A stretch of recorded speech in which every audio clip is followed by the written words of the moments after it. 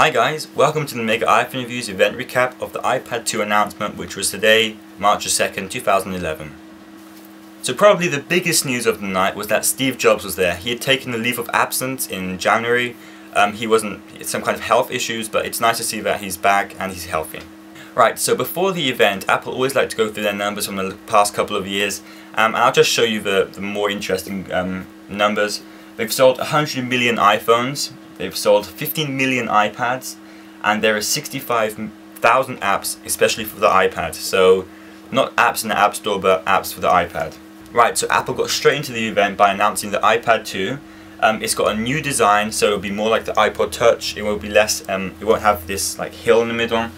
Um, it has an A5 dual core chip in it, which is 1 gigahertz, so um, it'll be twice the speed and it'll have 9 times the graphics performance, which is amazing.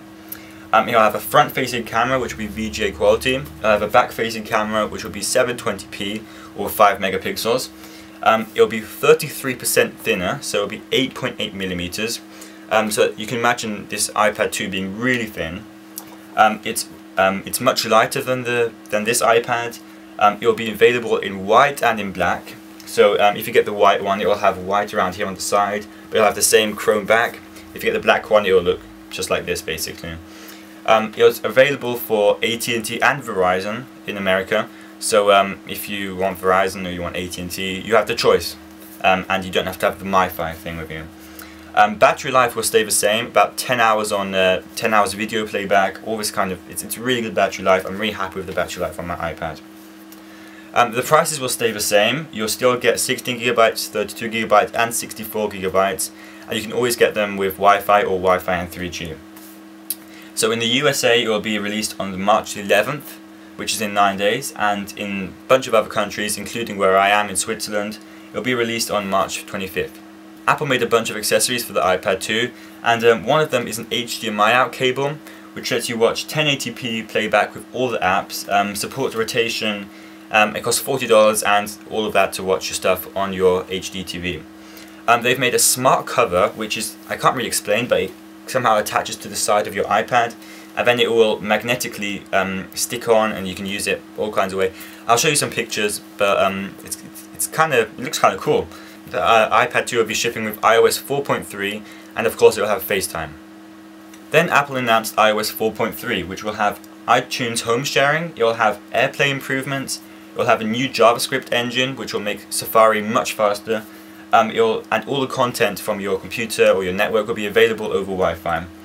Um, personal hotspot for iPhone 4, so you'll be able to make your own Wi-Fi network over 3G, which is really cool if you want to connect your, your laptop um, to your I, um, iPhone um, wirelessly.